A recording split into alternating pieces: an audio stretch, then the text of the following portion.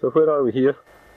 This is Clachan Merchard, or Ballan Balintombuie Cemetery, Dalchreichard, Glen Morrison. About this spot here, there was a a baptismal font. It was quite a small hollow in a rock of that size, a bowl. And there was reputed to be always water in it. Well, it rained a lot anyway, so it pretty seldom. I, I, there, were, there was always water in anyway. Mm, There's some weather down here. But in their wisdom, the cemetery department has tidied everything up and buried it. There still might be the evidence of the cover that was on it down Well, over that here. looks like the cover of it, that two or three stones there.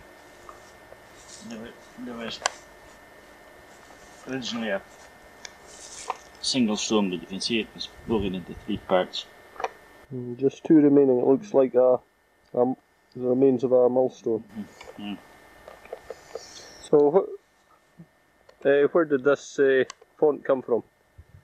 Well, Is that from the time of Merchard, perhaps? St. Merchard uh, blessed this place. He had a, a cell here.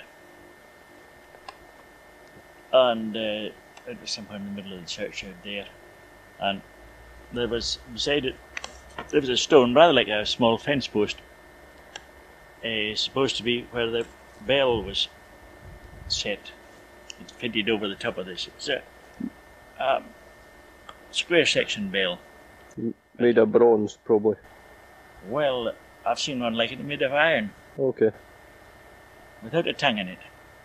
This bell was supposed to ring miraculously before a, uh, um, before a funeral, and it was also supposed to be able to return to its place in the cemetery here if it was ever removed. So when was it here until? Well, that's rather more than a hundred years ago. Well, no, a little bit more than a hundred years ago. It was somebody tested its uh, powers by throwing it into the river.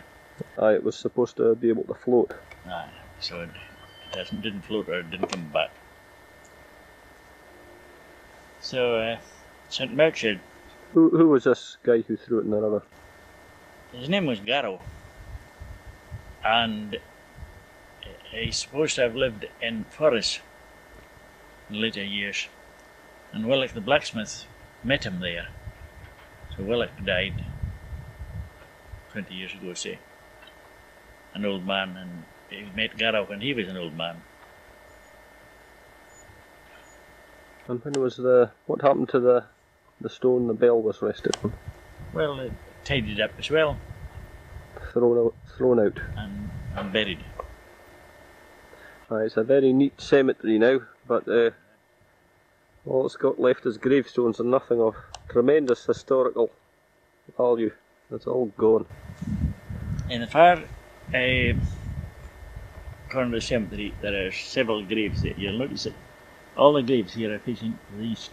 Aye. This one's for facing to the west because they wanted And to, wh- uh, wh- where are these gravestones? Are they still standing? over the back. I'd well go and have a look. Aye. But you notice all the graves are facing east. Aye. But that one's facing west towards Corriedoe. At the at the resurrection, you see, they would rise up and see Corriedoe.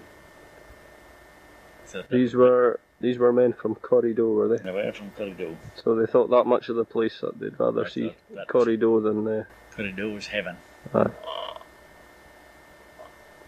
And uh, when were they buried there then? Oh well, more than a hundred years ago.